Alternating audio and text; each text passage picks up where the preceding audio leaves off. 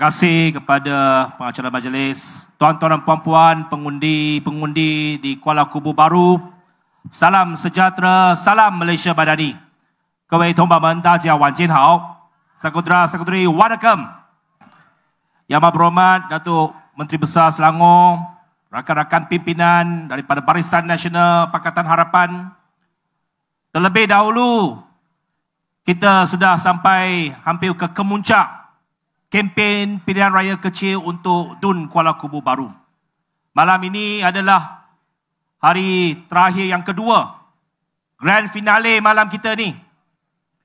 Sepanjang dua minggu ni kita telah berkempen, berusaha, bekerja sebagai satu pasukan.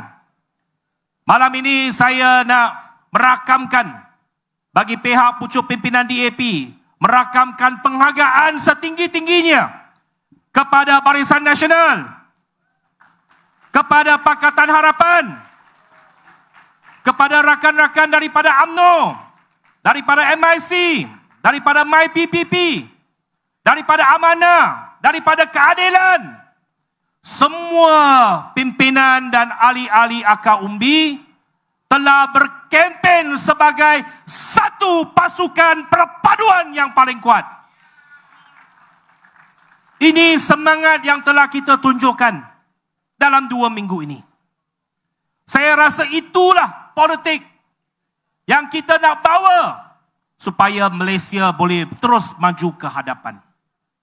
Ingat, itulah juga formula politik permuafakatan, politik kerjasama yang dibawa oleh perjuang-perjuang kemerdekaan negara kita yang menjurus dan menyumbang kepada kemerdekaan negara kita. Jangan lupa bahawa asas kenegaraan kita ialah kerjasama antara kaum dan agama yang tak boleh kita pisahkan. Semangat ini yang kita nak bawa dalam kerajaan perpaduan.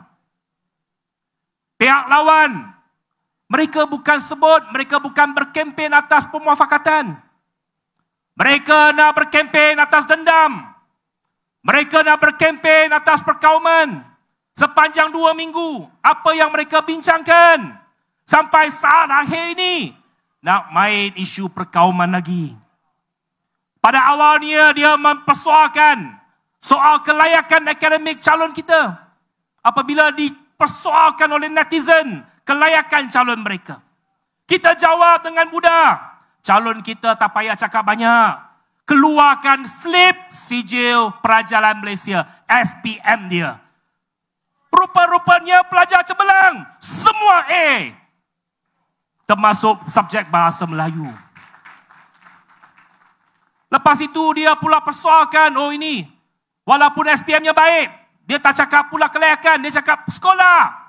Sekolah Cina. Sekolah Cina dia tak tahu bahawa sekolah Cina pun ambil SPM. SPM-nya sama.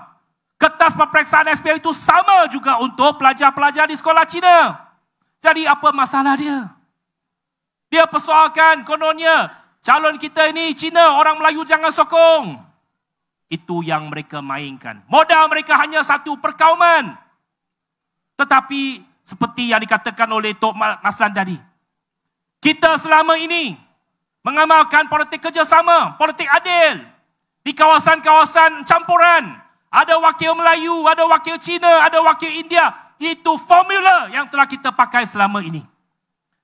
Mengapa kita nak pecahkan? Jadi tak ada masalah. Bukannya soal kaum. Walaupun betul calon kita kaum Cina. Betul dia Cina. Buka Cina. Tapi yang pentingnya jiwa Malaysia. Itu pemimpin yang kita nak lahirkan. Antara kriteria yang kita pilih calon, tuan-tuan dan puan-puan. Ialah yang pertamanya, kita bukan lihat calon. Yang pertamanya saya dah nyatakan, semasa majlis pengumuman calon, kawasan ini penyandangnya wanita. Kita letak balik calon wanita sebagai calon kita. Lepas itu kita letak orang muda. Nak bagi harapan, nak bagi peluang kepada orang muda berkhidmat untuk rakyat, membawa tenaga dinamik untuk perkhidmatan kepada rakyat. Tetapi yang ada juga syarat yang sangat utama. Walaupun dia Cina, tetapi salah satu syarat kelayakannya bahasa Melayunya kena fasih, kena baik kerana dia akan membawa suara rakyat dalam Dewan Undangan Negeri Selangor. Kita letak calon kita atas ujian, atas pentas. Calon muda, kali pertama masuk pilihan raya. Tapi tuan-tuan dan puan-puan, tengok tak calon kita tadi berucap. Tenang ke tidak? Cukup tenang. Walaupun kali pertama menjadi calon. Ramai tak tahu, saudari Pang ini pendebat di universiti.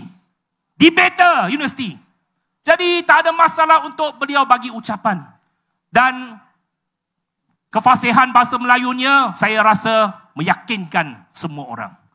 Sebab bagi saya, standard bahasa Melayu kena tinggi. Tuan-tuan dan puan-puan, saya punya standard bahasa Melayu pun tinggi, tuan-tuan.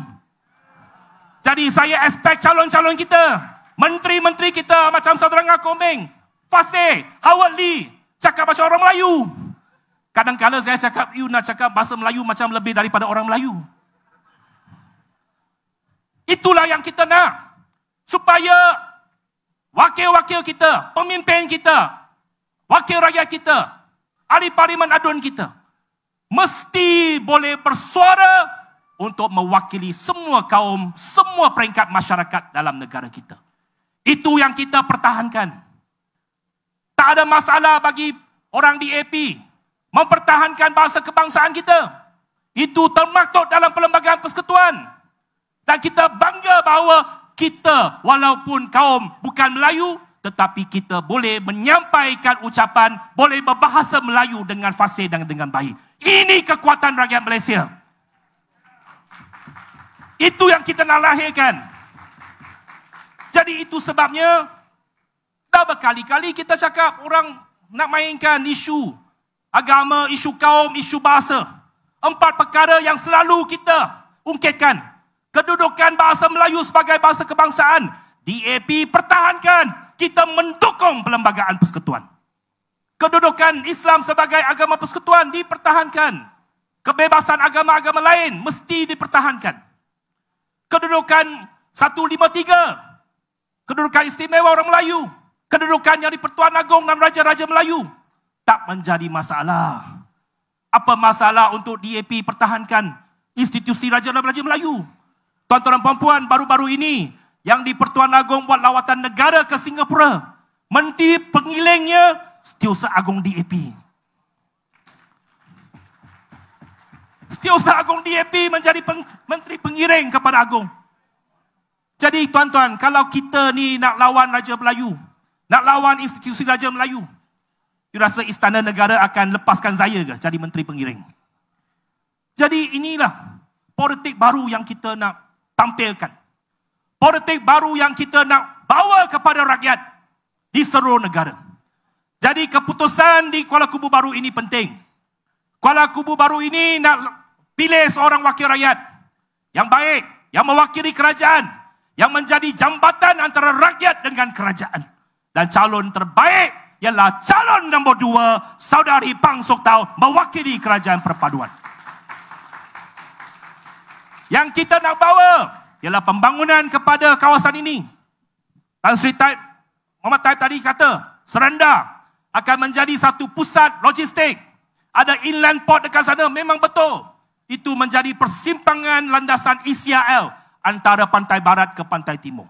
Kawasan ini bakal membangun tengah pesat. Kebanjiran kilang-kilang banyak daripada luar negara. Memang kestabilan yang kita telah ada pada hari ini.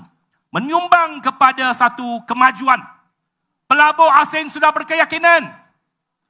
Minggu lepas Microsoft umum 2.2 bilion pelaburan US dollar dalam negara kita ini. Lebih besar daripada pelaburan di Indonesia. Google juga akan mengumumkan tak lama lagi pelaburan besar dalam negara kita. Jadi pelabur-pelabur asing sudah mula keyakinan kepada kerajaan kita. Jadi kita mesti kekalkan kestabilan ini, kekalkan kekuatan ini dan di negeri Selangor kita mesti kekalkan kekuatan kerajaan negeri kita. Kekalkan kekuatan menteri besar kita. Datuk Seri Amiruddin Syari. Bagi dia solid supaya dalam Dewan Negeri tidak ada mana-mana pihak, tidak ada mana-mana puak yang boleh mengganggu gugat kedudukan dia. Boleh? Itu sebabnya KKB mesti tetap kekal milik kerajaan perpaduan. Supaya suara dan kerusi KKB mengangkat kerajaan negeri menyokong kepimpinan Datuk Seri Amiruddin Syari sebagai Menteri Besar Selangor. Jadi tuan-tuan dan puan saya berharap kempen yang kita laksanakan selama dua minggu ini yang bakal berakhir pada esok bukan saja dapat menyatu padukan kita tetapi menambah kefahaman kita antara satu sama lain. Dalam kempen ini, kita bekerjasama, kita berkampung bersama. Kita duduk satu ceramah bersama. Pergi rumah ke rumah bersama. Ini akan membina jambatan antara Barisan Nasional dan Pakatan Harapan. Kefahaman yang lebih tinggi, kerjasama yang lebih baik antara BN dan PH bukan saja akan memperkuatkan kerajaan, tetapi akan menambah lagi kekuatan kepada politik negara kita. Yang akhirnya akan memanfaatkan dan memajukan negara. Jadi KKB mesti menjadi satu pertanda kekuatan kerajaan perpaduan di negeri Selangor dan pada 11 Mei ini kita menangkan calon nombor dua Saudari Pang Sok Tau kekal Kuala Kubu Baru kekal kerajaan perpaduan dan kita majukan negeri Selangor. Sekian terima kasih dan riwanakem sisi kowe. Terima kasih YB penuh semangat. Terima kasih YB. Okey, last